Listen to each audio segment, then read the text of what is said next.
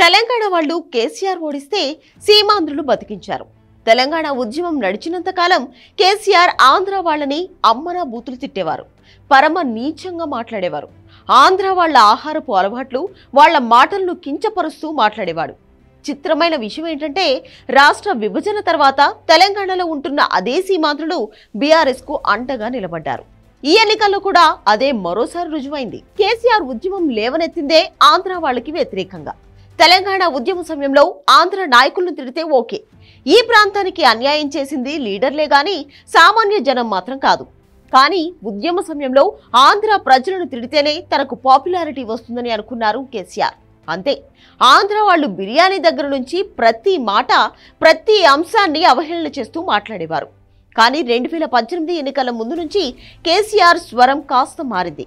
Greater Hyderabad పరిధిలో పాతబస్తీ తప్ప మిగిలిన అన్ని నియోజకవర్గాల్లో సీమాంధ్రులు బలంగా ఉన్నారన్న సంగతి అర్థమైంది.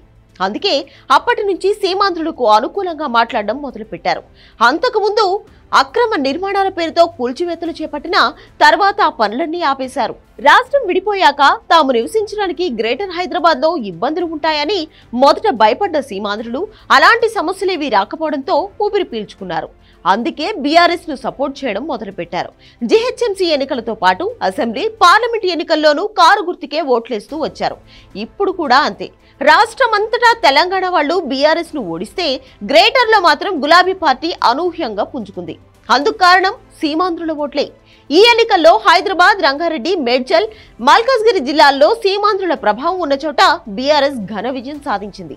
కూకట్పల్లి కుత్బుల్లాపూర్ శేర్లింగంపల్లి జూబ్లీహిల్స్ సనత్ నగర్ సికింద్రాబాద్ మేడ్చల్ లాంటి నియోజకవర్గాల్లో సీమాంధ్రులు కారు పార్టీని గెలిపించారు. తెలంగాణ గ్రామీణ ప్రాంతాల్లోనూ బీఆర్ఎస్ ఓడిపోయింది. కానీ సిటీ జనం మాత్రం కంటికి కనిపిస్తున్న అభివృద్ధికి ఓట్లేశారు. తెలంగాణ పల్లెల్లో కేసీఆర్ అహంకారాన్ని నిరసిస్తూ ఎమోషనల్గా కాంగ్రెస్ను గెలిపించారు జనం. కానీ కేసీఆర్ ఎవరినైతే తిడుతూ వచ్చారో వాళ్ళే ఆ సీమాంధ్రులే ఆ మాత్రం సీట్లైనా కారు పార్టీకి ఇచ్చారు. గ్రేటర్ హైదరాబాద్ సిటీలో ఈ సీట్లు రాకపోతే బీఆర్ఎస్కు మిగిలిన చోట్ల కలిపి ఇరవై స్థానాలకు మించి వచ్చేవి కావు. సీమాంధ్రుల ఓట్లు ఎంత అవసరమో ఇప్పుడు కేసీఆర్కు బాగా తెలిసొచ్చినట్టుంది.